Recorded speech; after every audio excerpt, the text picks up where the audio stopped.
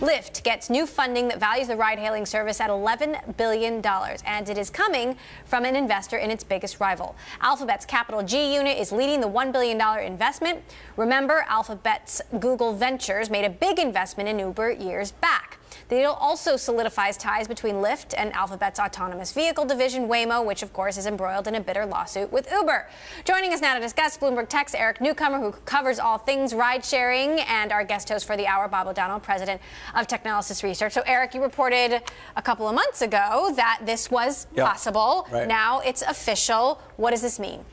I mean, I think it's you know it's amazing uh, the sort of about face here on Alphabet. You know, they invested in Uber back in 2013 when Uber was just doing black cars. They were way ahead of things, and that the relationship over these intervening years has totally deteriorated is amazing. I mean, And they also have a stake in Uber's success, right? I mean, if, right. if Uber has a you know massive exit, Alphabet would benefit from that greatly.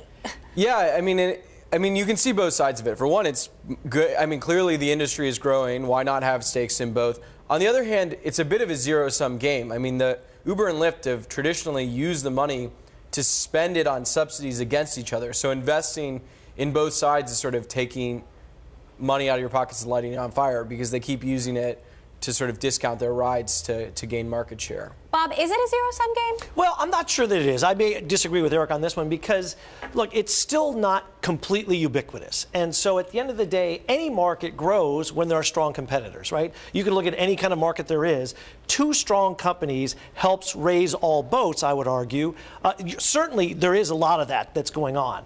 But I think the opportunity to drive more uh, strength across it, make it more completely ubiquitous. Remember, we, we're in the bubble here. Outside the bubble, there's still a lot of people who haven't even tried it yet. So that's where the growth opportunities, I think, are, certainly here in the U.S. And then if Lyft takes some of that money and goes international, of course, that becomes a very interesting question as well.